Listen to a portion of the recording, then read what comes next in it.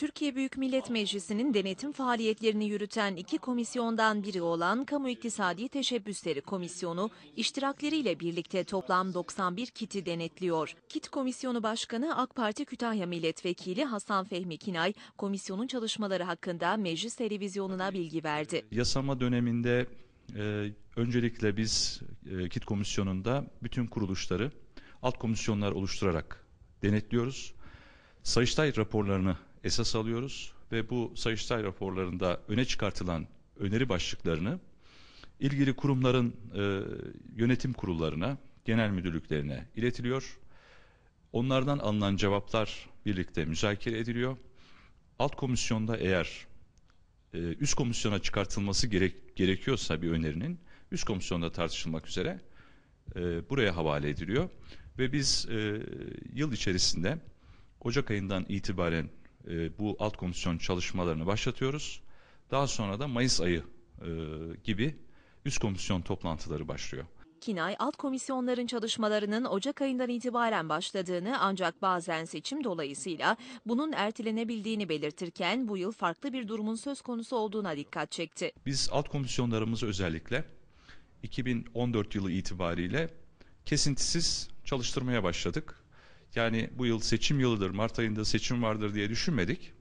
Ocak ayından itibaren alt komisyonlar başladı ve bunun neticelerini inşallah üst komisyonda e, tartışmaya devam edeceğiz. Alt komisyonlarımızda e, partilerin dağılımına göre, ağırlıklarına göre bir denge oluşturuluyor. İktidar partisi milletvekilleri dışında diğer e, muhalefete mensup üç partimizin de milletvekilleri bu alt komisyonlarda görev alıyor.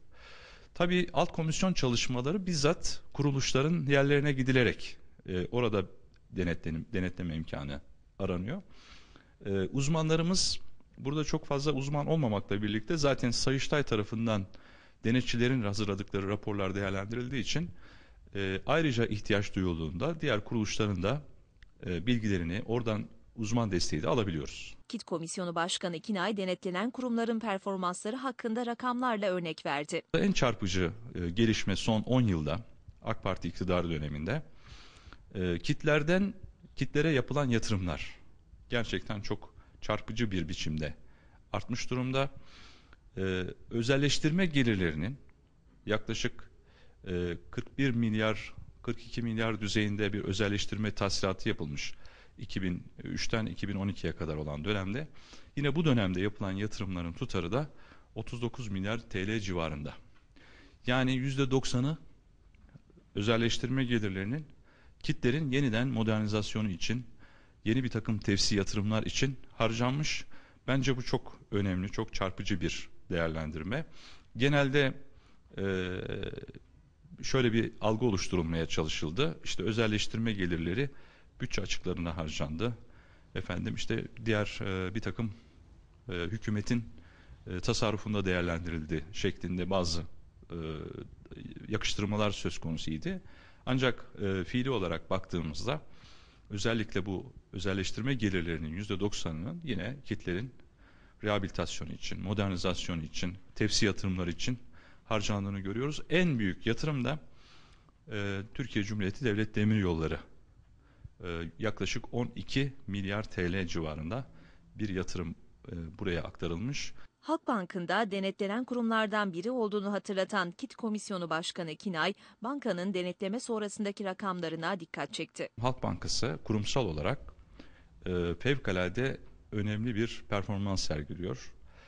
E, takriben bu 10 yıllık dönem zarfında 15 milyar TL hazineye kaynak aktarmış. Her yıl 2 milyar TL civarında e, gelir daha doğrusu kar açıklayan ve e, bunun da yarısını yaklaşık 1 milyar TL civarında gelir ve kurumlar vergisi olarak e, maliyeye aktaran. Diğer taraftan da halka arz yönüyle e, yaklaşık 4,5 milyar dolarlık bir kaynağı e, yine hazineye aktaran. Bunun yanı sıra temettü gelirleriyle de hazineye yine fon aktaran ve Toplamda 15 milyar TL civarında. Bu rakam neyi gösteriyor? E, sermayesine baktığımızda hazine tarafından konulan sermaye 1 milyar 250 milyon TL. Bunun yaklaşık 13 katı 14 katı gibi bir rakamı hazineye geri vermiş. Bu çok önemli bir performans göstergesi. Şube sayısını artırmış, personel sayısını artırmış, personelin niteliğini e, artırmış ve e, karlılığı ile ilgili bir e, adeta yatırımcılara e, biliyorsunuz ayrıca halka arz edildiği için çok sayıda da ortağı var. Borsaya açılmış bir e, banka. E, bu anlamda ilk 15'e 16. sıraya oturan bir banka.